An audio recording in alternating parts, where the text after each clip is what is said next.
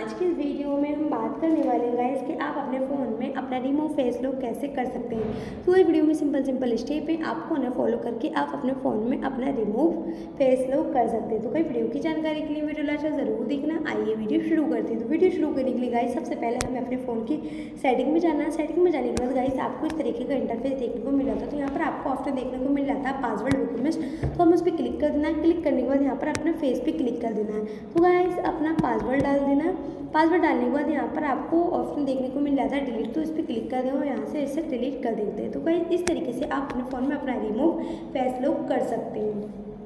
तो guys video पसंद आई हो तो शेयर करें लाइक करें। चैनल पर नए हो तो चैनल को सब्सक्राइब करें। मिलते हैं अगले नेक्स्ट वीडियो में। तब तक के लिए bye bye and take care